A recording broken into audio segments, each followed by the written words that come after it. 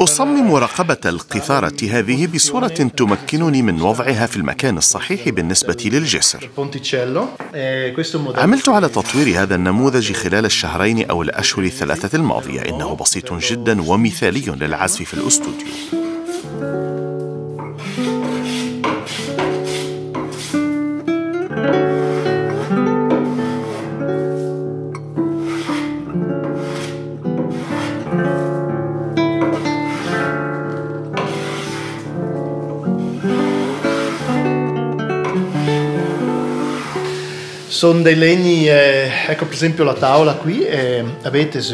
سطحة القيثارة مصنوعة من خشب شجر التنوب السويسري.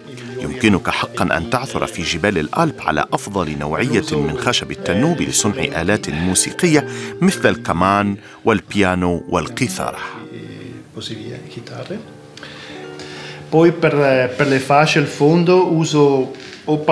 أنا أستخدم خشب الورد الهندي أو القيقب لصناعة الظهر والجوانب وخشب الماهوجني لصناعة الرقبة والرأس وخشب الأبنوس للوحة الأصابع أو المسطرة وهذه كلها أخشاب ثمينة نضجت لمدة عشر سنوات على الأقل E l'abete rosso ha questa qualità di evolversi. يتميز خشب التنوب بالقدرة على التغير والتطور والتحسن والتكيف مع عازف القيثارة. أما الأرز فهو خشب بسيط للغاية ويصدر صوتا خاصا منذ البداية لا يمكن للعازف تغييره. Di cambiargli questo carattere.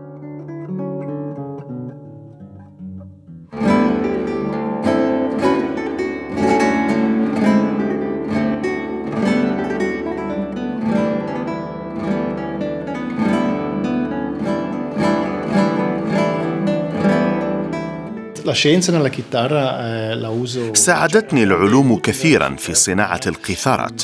أعانتني على التعلم وعلى الملاحظة بطريقة أخرى. مع أن أفضل أدوات الملاحظة تظل اليدان والأذنان والإبصار والخبرة.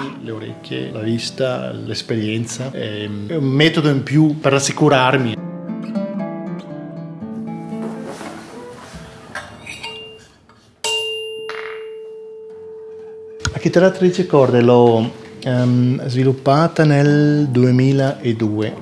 طورت القيثارة ذات الأوتار الثلاثة عشرة مع عازف القيثار السويدي أندرس ميولين في عام 2002 كان يريد توفير المزيد من الأوتار للتمكن من عزف الموسيقى المكتوبة أساسا للبيانو أو للرباعيات.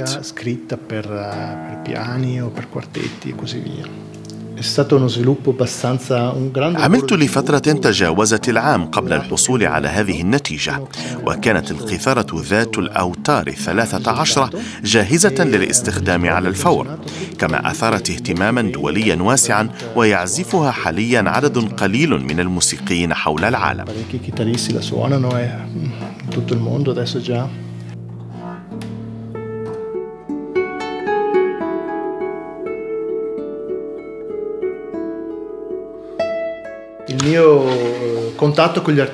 التواصل مع الفنانين مهم جدا. فهم الذين يعزفون الآلة ويتواصلون مع الجمهور.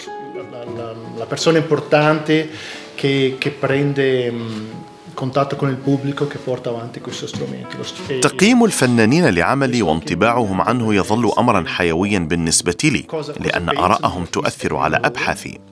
لقد دعمني عدد من الفنانين الكبار جدا ولم يبخلوا علي بانتقاداتهم التي سمحت لي بالمضي قدما ولكن يجب أن أقول أن لقاءاتي بهم كانت دائما لطيفة mi جدا